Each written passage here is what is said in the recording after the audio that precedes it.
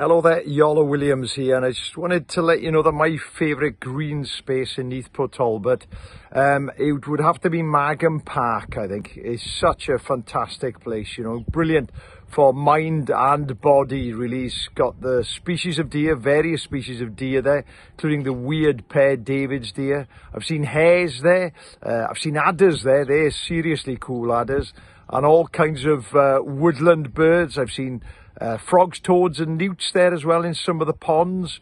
And uh, best of all, at the end of the day, it's got a really good calf that you can pop into, have a cup of tea and a cake as well.